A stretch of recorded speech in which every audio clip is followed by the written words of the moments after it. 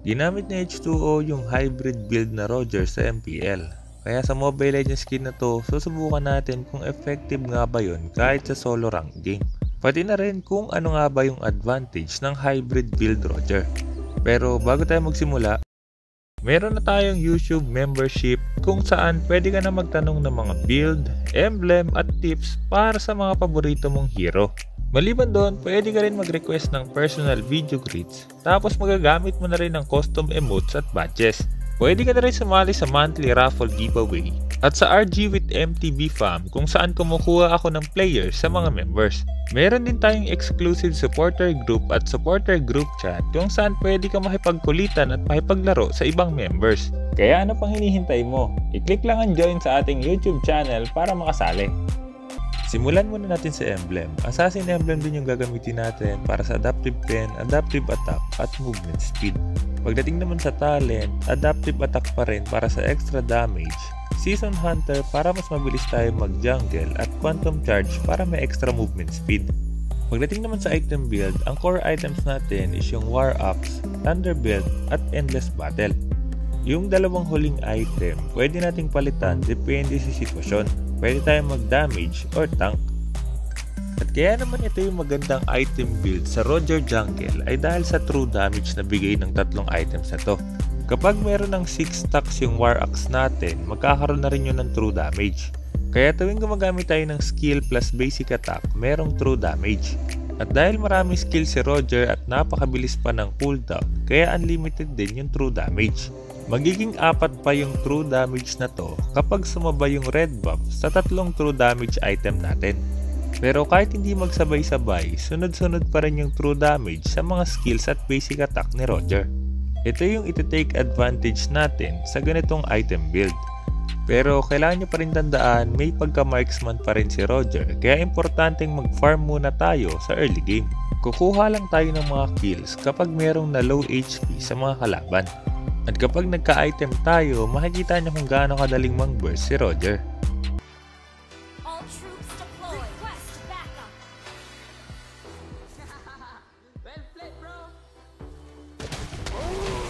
Ayun, uy, maraming salamat sa leash.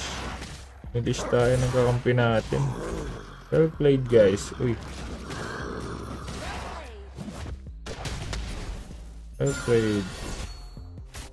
Leash tayo. Mapapabilis ako.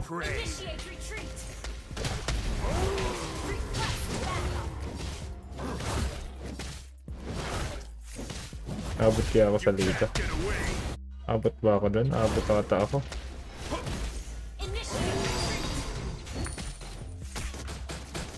Uy!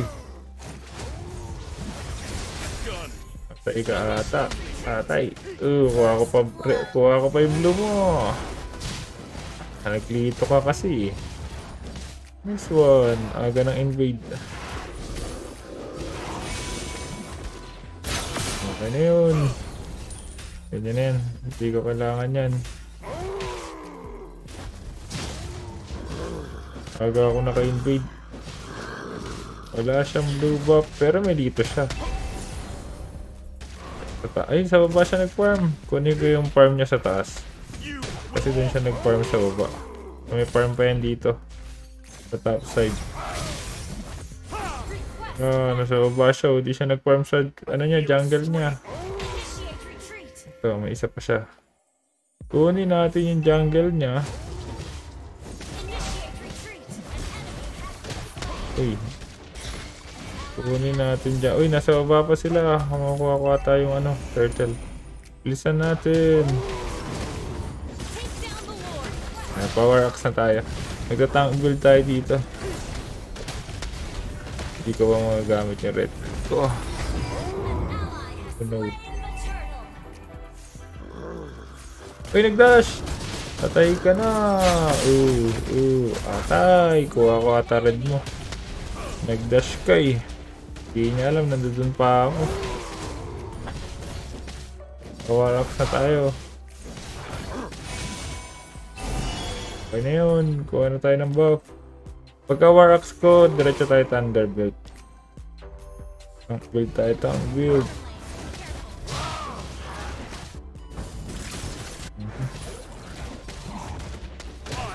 Ganda nga ba tong tank build, Roger? Pero maganda nga siya kasi yung Thunderbolt may slow, tapos medyo makunat-kunat tayo.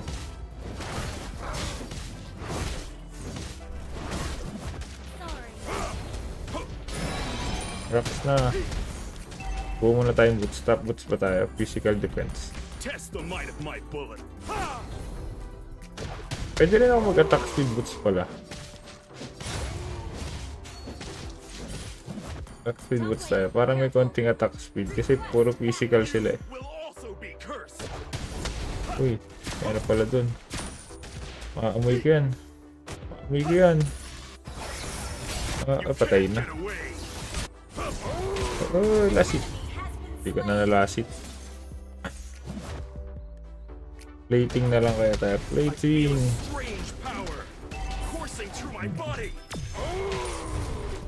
Plating.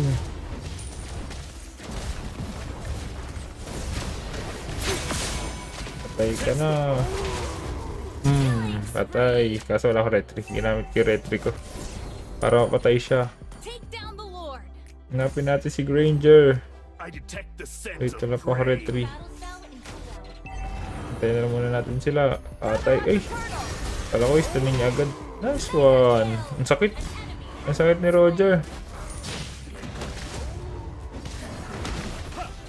Patay na yan. Uh, Ay, nakaano agad. Rose Gold.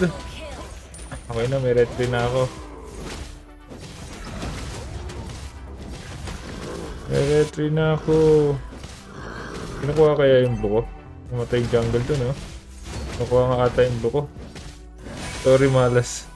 Malas camper. Uy, nakuha niya na yung blue. Saka, farm.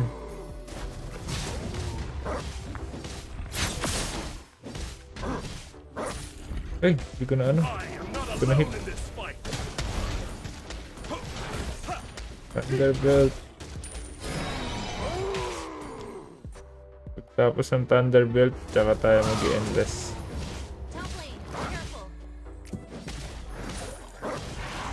May importante pa rin makapag-farm tayo eh. Uy, wala na to. Eh, masasalubong ko si Sicilian. Uy, si Granger pala eh. Uy, may Eldus. Patay ka na.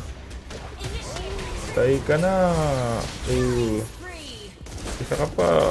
Uh, uh, Bago natin ituloy yung video, meron ka na ba ng pinakabagong epic skin ni Katya?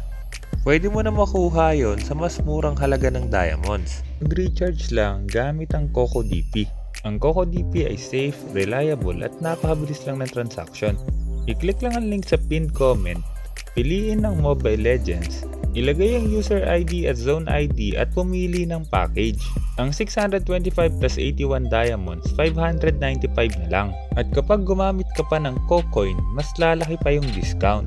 At kapag nabayaran mo na, matatanggap mo agad ang diamonds. Kaya ano pang hinihintay mo, mag-recharge na gamit ang Coco DP. patay ka. Ano pa? Namatay na si Dirot. Mhm, Okay na yun. Magkaka magkaka-red siya. Kukunin ko ulit. Medyo makunat ko na tayo. Malaki HP ko eh. Scent of prey. Kuha ko na to. Wala ka nang magagawa. Sakit na ito. Puro true damage to. Tatlong true damage item. War Axe, Endless Battle, tsaka ano. Tsaka Thunderbelt. Tatlong true damage. Ay, may XP pala yun. Tatlong true damage item. Mataas pa yung CD. Patay natin yung gitna. Ako. Uh, uh, okay na yun. I'm out. Mabilis tayo makakapagpalit ng form, no? Kasi mataas yung CD. Attack the turtle! Lang namatay. Patay ka na! Dami. Ah! Wanit. Ah, wait lang. Nakunat ako. Sige, SS. Uh, patay. Ulti ka pa. Uh, patay turtle. Down the Lord. Di magta-turtle yan. Patayang gusto niyan. Tara, kuha tayong Lord. Ay, turtle. Mhm, kunat ko. Makunat tayo. May ilaw dun. Ayaw mo talagang umuwi ah. Amoy kita! Rar! Atay! Ay! Ultian ako! Ah! Ako po, run! Dapat ching yung core nila. Mayaman tayo. Masakit, masakit na to. Isang true damage na lang.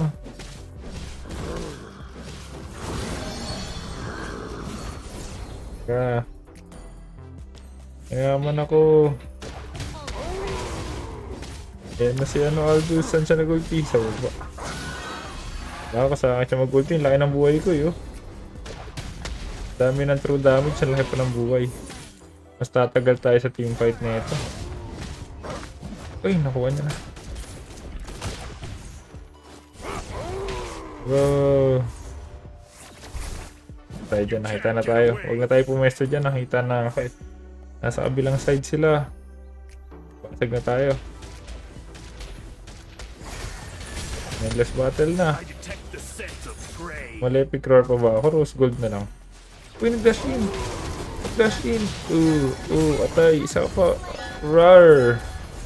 Ay. Basag. Rose gold tayo, rose gold. Uy, grabe. May laki ng heal. Nice basag.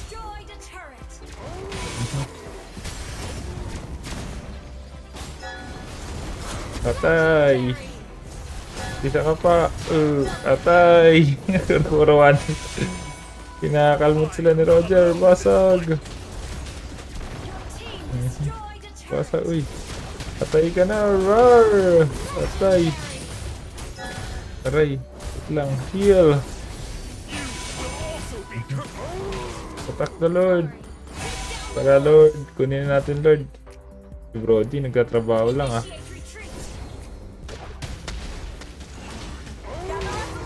Pero true damage. Uy, ba't wala yung true damage ko? Ay.